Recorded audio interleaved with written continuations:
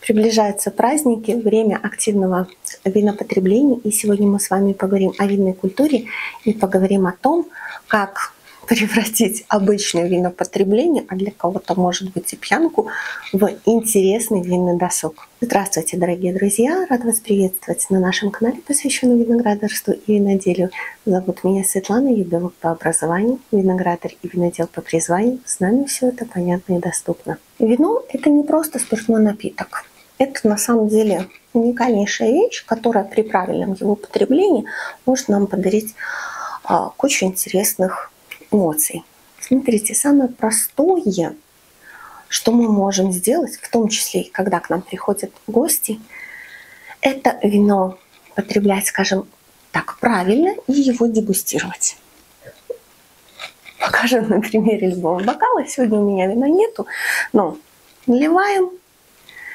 Правила дегустации. Первый нос. Понюхали, обсудили между собой. Смотрите, если мы хотим а, развиваться в вине, вот одному бывает сложно. А, что бы мы ни почитали, ну, все правила дегустации, описания вин, а, все равно одному сложно. Когда есть хотя бы еще один человек, все становится гораздо проще и гораздо интереснее. Потому что мы между собой можем обсуждать, что вот в первом носе каждый почувствовал.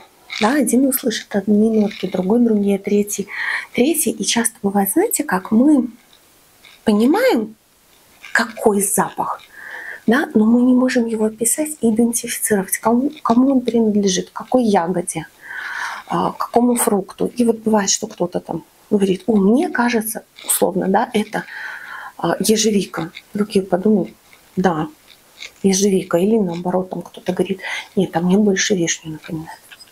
Следующий этап. Взболтнули, второй нос понюхали – вы уже почувствуете, как меняется запах от первого носа до второго. Опять обсудили, сделали глоток,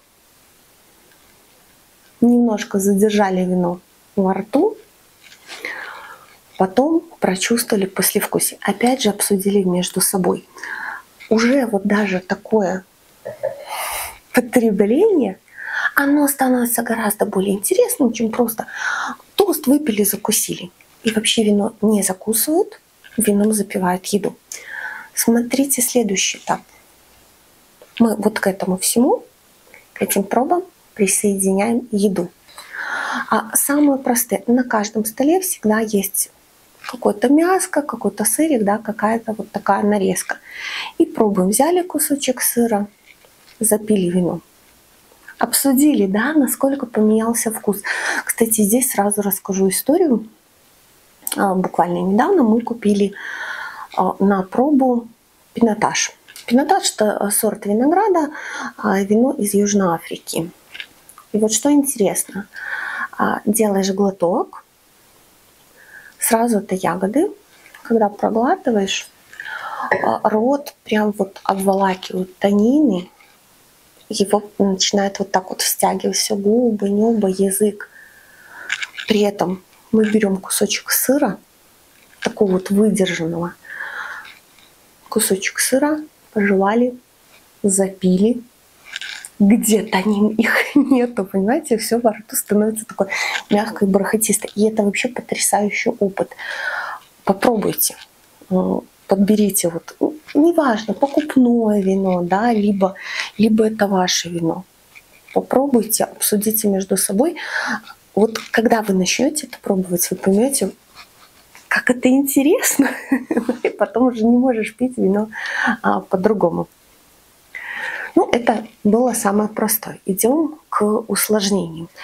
Смотрите, вот это все, это не только как бы разнообразие разноображивать наш э, досуг, это еще и дает нам возможность развиваться а, в теме вина и научиться понимать его. Сейчас куча курсов платных, да, если хочешь разбираться в вине. Много чего мы можем сделать сами, но для этого хорошо, чтобы была компания.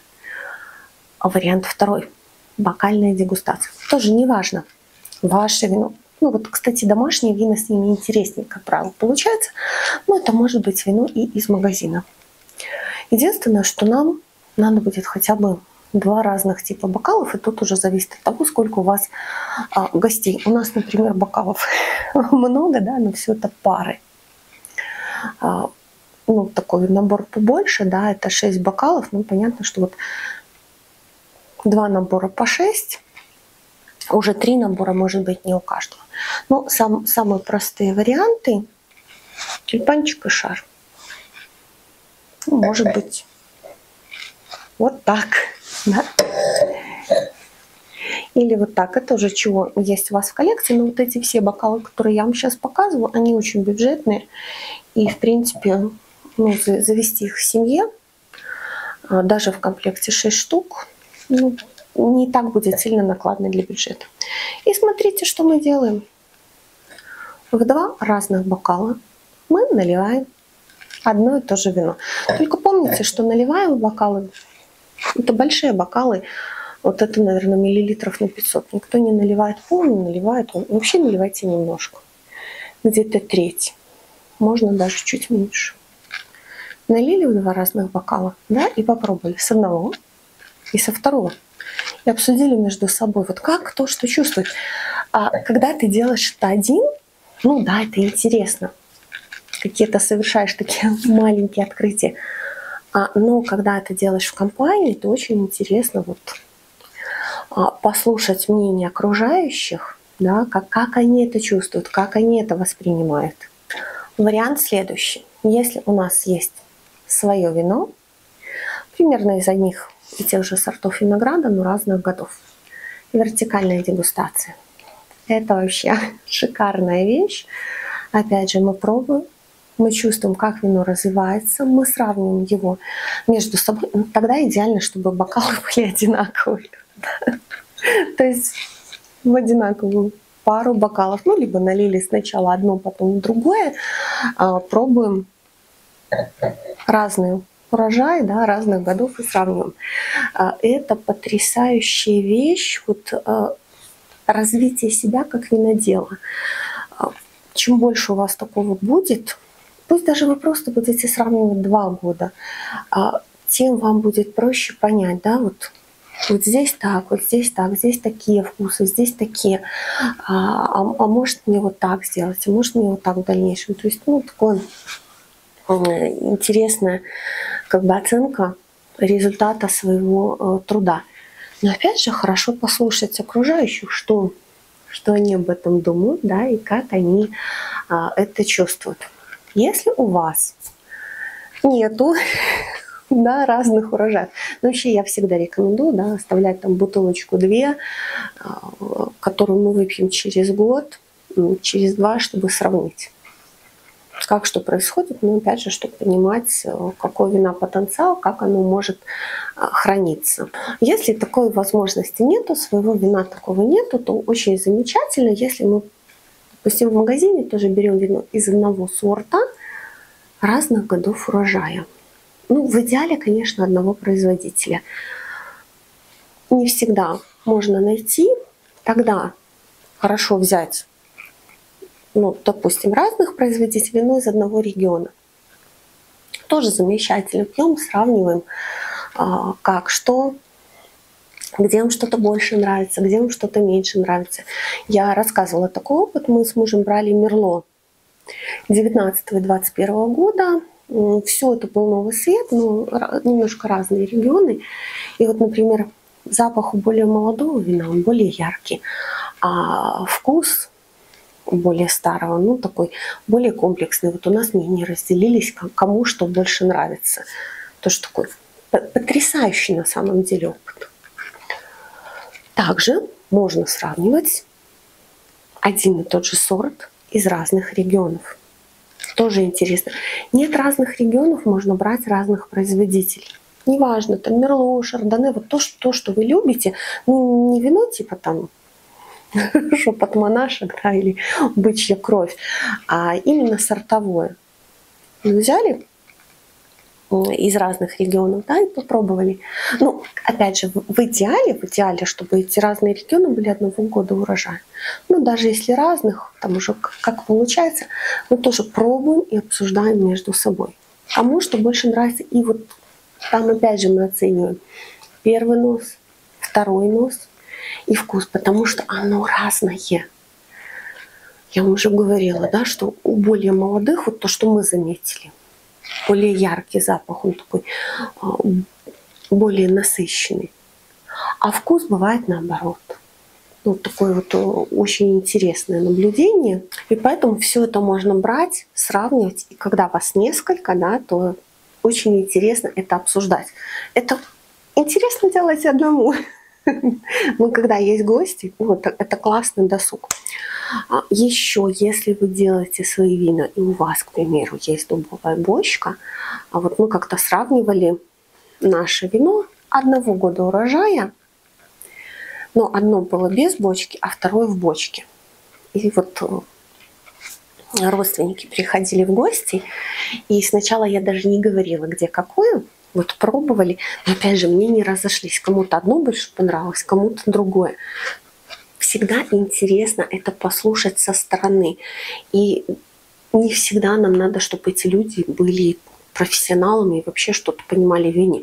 Интересно вот про простое мнение, опять же, а как кто чувствует запахи, как кто чувствует э, вкусы. И плюс к этому всему, опять же, мы можем наворачивать сочетание с едой и пробовать, что нам больше нравится, что нам более э, интересно. И еще смотрите, какой вариант может быть, если э, сорта, из которых вы делаете вино, есть такие же вина в магазине из этих же сортов, тоже есть смысл это попробовать. Да, и с теми же гостями.